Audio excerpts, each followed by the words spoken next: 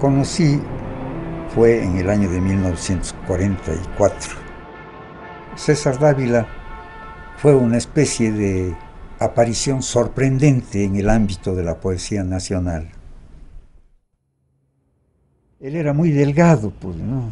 Pero curiosamente, como hacía ejercicios yoga, pues le gustaba exhibir sus pequeños músculos, digamos, Y tenía una nariz muy prominente, larga, recta, el pelo cuidadosamente peinado siempre, ¿no? Y en el rostro lo que más llamaba la atención de él eran sus ojos descomunales, unos ojos enormes.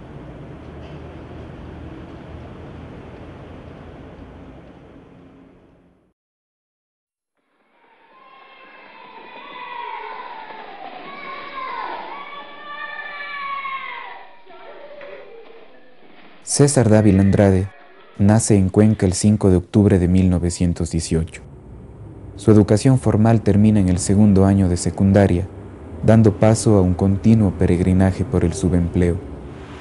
A los 15 años, su poesía entraña ya una ruptura formal y temática con la convención lírica de la comarca, extenuada en alabanzas a la Virgen y al paisaje natal. Eh, nunca consiguió en Cuenca un, trabajo que pudiera servir de sostén mientras realizaba su obra creadora, unos puestos demasiado modestos y humildes. Fue alcaide de la cárcel de Cuenca, por ejemplo. Un contrasentido, un hombre tan pacífico, tan eh, amante de la paz, portando un gran revólver para cuidar a los presos. Pues, En Guayaquil fue una especie de sirviente del presidente Arroyo del Río, cuya piscina lavaba él. Pues, influyó decisivamente sobre toda una generación. Todos los poetas de madrugada tenían la voz de eh, César Dávila Andrade. Fue el 28 de mayo precisamente el día de la revolución. Nos acompañó durante esa noche, pero al día siguiente se desapareció. Fuimos a verlo en casa y ya no lo encontramos y en la casa nos dijeron que había salido para Quito.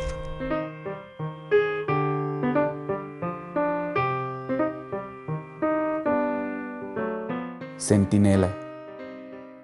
Sin un solo suceso, la noche hace el vaciado de su calavera, y los más duros ángeles, desprovistos de sus armas y sus responsabilidades, se acuestan sobre las alas plegadas como en una nueva cuna. Pero los terribles salvadores de la carne del mundo empuñan fuego y retroceden milenios para ordenar rosarios y matanzas, de acuerdo con la temperatura y las veleidades del estroncio venidero. Ellos beben nuestro sueño, putrefacción de luna y diurnas contiendas. Y solo aquel uno, poeta con sortijas de muladar labrado en roca, escuchando el millón de grillos que revienta de un solo amor, solo él dispone de los más hermosos días durante el tiempo de la noche antigua.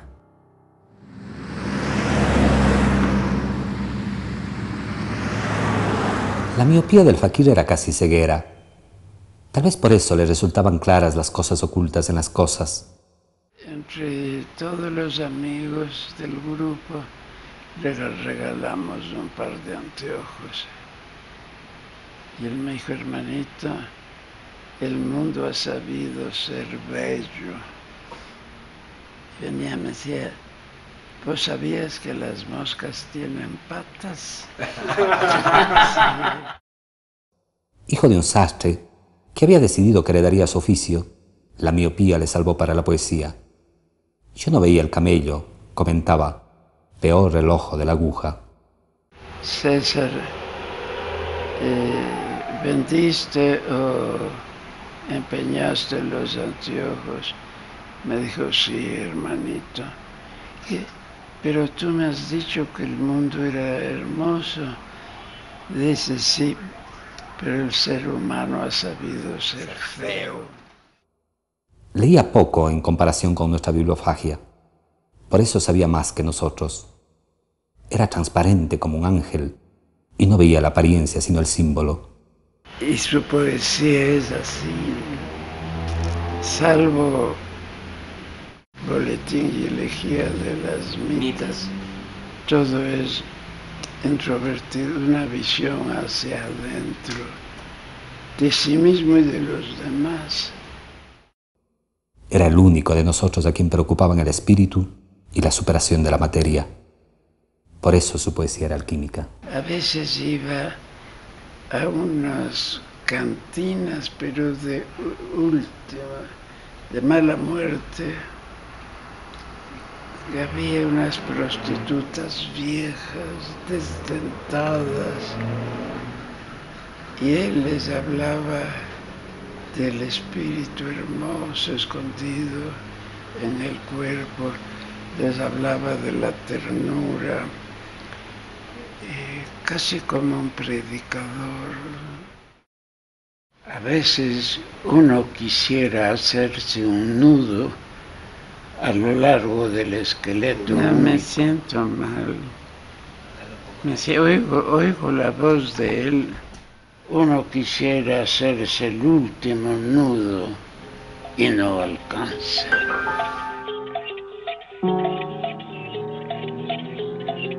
En 1942, Dávila viaja a Guayaquil, donde conoce algunos rincones extraños y sórdidos, como aquella casa en la que se practica una singular terapia a los enfermos de tuberculosis, experiencia que inspiraría, años después, la realización de uno de sus mejores relatos, Vinatería del Pacífico.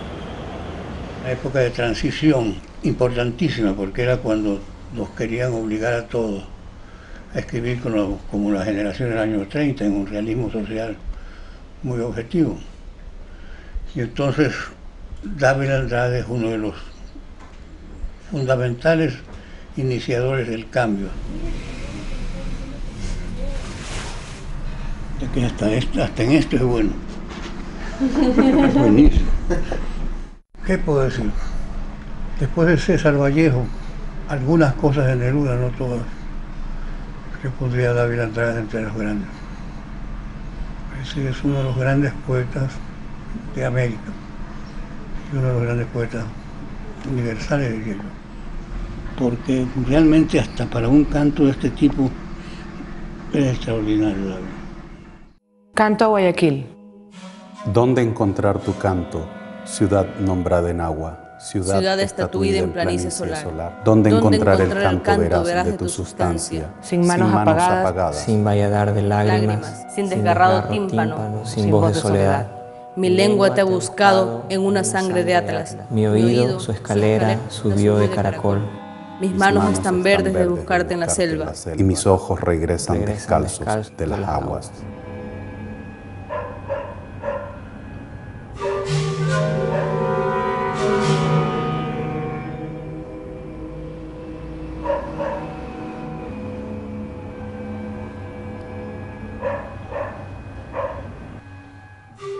A los 26 años Dávila se establece en Quito. Había ya incursionado en la poesía, la narrativa y el ensayo, los tres géneros en los que expresará su singular personalidad vital y artística. Gana el cariño y la admiración de sus colegas convertidos en sus protectores, como Benjamín Carrión, presidente de la recién estrenada Casa de la Cultura quien le ofrece un puesto de corrector de pruebas en la institución, donde además contribuirá en Letras del Ecuador, órgano de difusión de la casa. Este poeta de provincia escribirá sobre el biógrafo alemán Emil Ludwig, el escritor sueco Axel Munte, el maestro Zen Sun Kao, el Ulises de Joyce o la literatura de Kafka.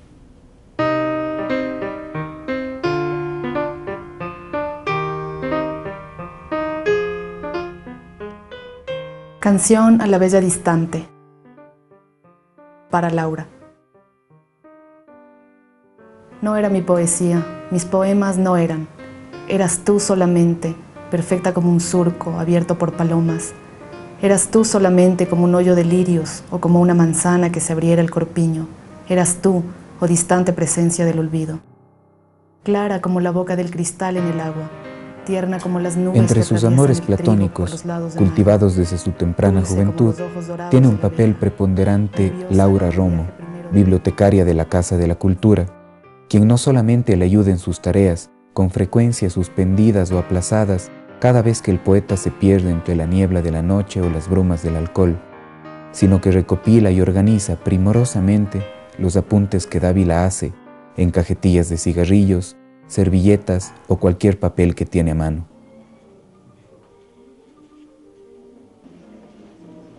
Laura es también testigo privilegiada de la gestación de Boletín y Elegía de las Mitas, el gran poema dramático y coral sobre la expoliación y esclavitud de los indígenas durante la colonia. Dormimos miles de mitayos, a pura mosca, látigo, fiebres, en galpones, custodiados por un amo que solo daba muerte. Pero después de dos años, ocho meses, Salí. Salimos 600 mitayos. De 20 mil que entramos.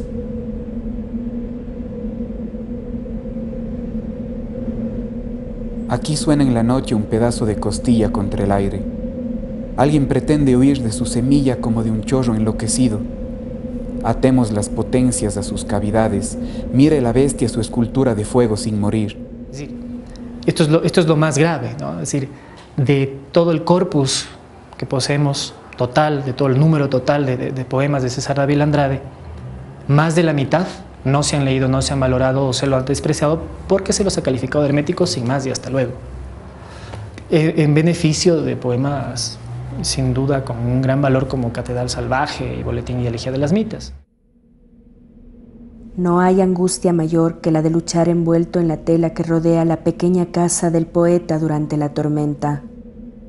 Además, están ahí las moscas, veloces en su ociosidad, buscando la sabor adulterina. Hermético, entendido como esotérico, como críptico, como, como enigmático, como poesía difícil. Démosle la vuelta.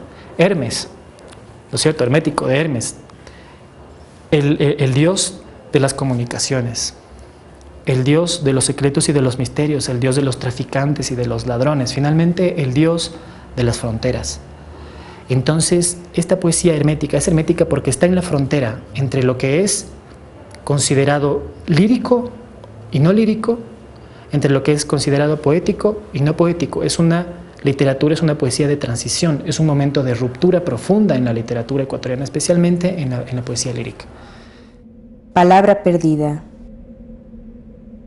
Embrujar el poema de modo que todas sus palabras, girando de la circunstancia al centro por el soplo del mar entre las columnas, se conviertan en la palabra. Algunos lo citan, los ponen de epígrafe, eh, los, eh, los parafrasean en sus poemas.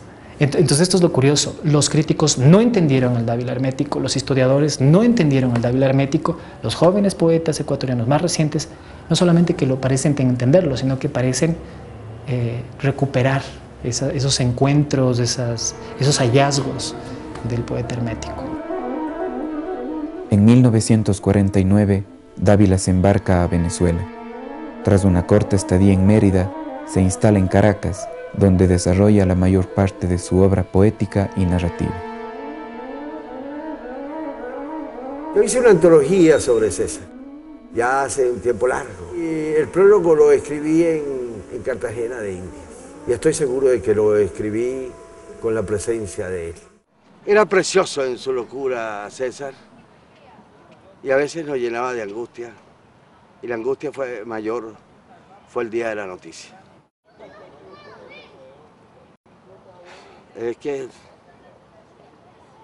es decir, no queríamos aceptarlo. No queríamos aceptarlo y además no nos lo imaginábamos. Lo escuché y no tenía dinero justamente esa tarde. Fue a hablar con Luis Pastori, le prestó unos, cuantos bolívares, compró una, una hojilla y, ya, se cortó. No lo imaginábamos que, que, de morir tenía que, que, morir, si tú quieres, en la calle, en un estado de ebriedad. Solo Él dispone de los más hermosos días durante el tiempo de la noche antigua.